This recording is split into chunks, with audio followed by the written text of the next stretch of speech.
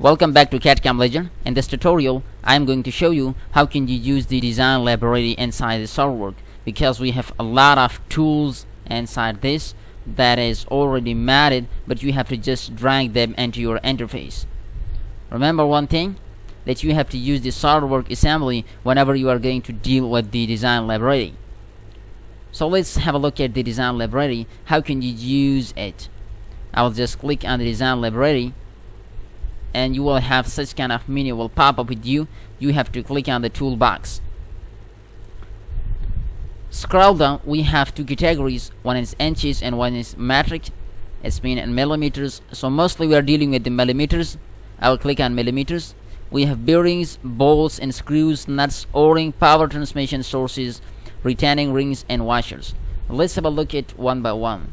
When I click on bearing we have subcategories ball bearing and roller bearing so I will just only discuss only one of them. So when I click on the ball bearing so we have subcategories. As you can see from here you can see them by yourself. Let me just drag one of the bearing over here. So you can just make any change inside this by using the feature manager design tree. And the size will be given to you. You have to choose the proper size this bore diameter is 1.5 outer diameter outer ring diameter is 4 units. The thickness of these rings is 1.2 number of balls either you can use the full there would be no gap see? And this time I'm just use 8 and when I click on the simplified you will not see the balls inside. Let's have a click on the details. You have to use the 8 gauge separator and I will say okay. This time I don't need the second one. I will cancel it. See? Let me just delete it for now. And when I click on the magic let's have a look on the hex head. Let me just drag this for now. And let's you can just make change inside this by using the feature manager design tree it's an M10 bolt and washer face.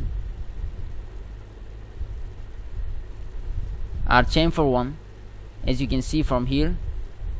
Chamfer washer face see? It's up to you. The length as you can increase decrease from here. Thread length 30 through all. Schematic simplified. No thread will be there cosmetic threads and I will just choose the schematic threads for now. I will say okay I don't need the second one. Let me just delete it for now. When I click on the design library so I will click to the nuts. We have different kinds of nuts. Let me just drag this one for now. And you have to choose the proper size it's an M10 you have to use the schematic simplified no threads will be there and cosmetic threads. This time let me choose schematic threads for now. And I will say okay I don't need the second one and let me just delete it for now. Just I'm telling you how can you do this okay? By saving your times. Because whenever you're going to model this by using the part geometry inside the SolidWorks so it will take a lot of time from you people. And when I click on the power transmission sources we have different kinds of gears spur gears helical gears rack and pinion gears bevel gears. So let me just drag a helical gear over here. As you can see here this is a helical gear and you know very well what a helical gear is. The teeth are inclined not straight. And let me just specify it by the module which is 2 number of teeth are 20 you can increase decrease it. And the helix direction is right-handed. See? Left-handed. It's up to you. Pressure angle you can keep it. Let me just keep it 20 it's better. And hub style none see. And nominal shaft diameter is 15 let me just decrease it for now. See? And we have a keyway. If you want you you you can ignore it okay? But this time let me keep a square one. Show t 20 and I will say okay. This time I don't need the second one. See it's really very well. It's like a superb helical gear. And you can just drag any of the gear like internal spur gear rack and pinion and spur gear.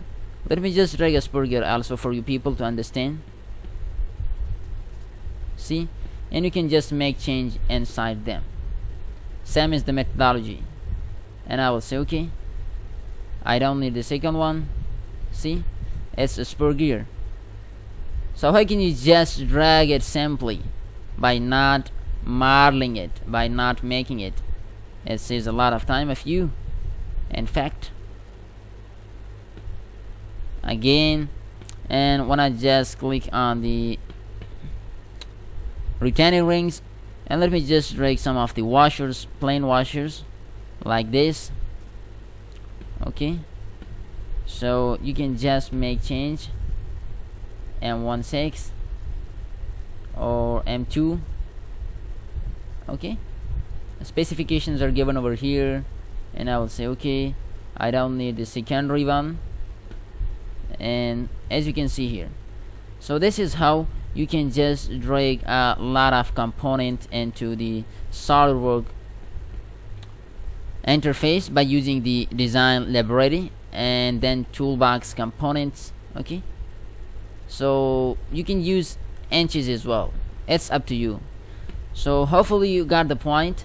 How can you use the design library and how can you just drag the components by making editing inside them?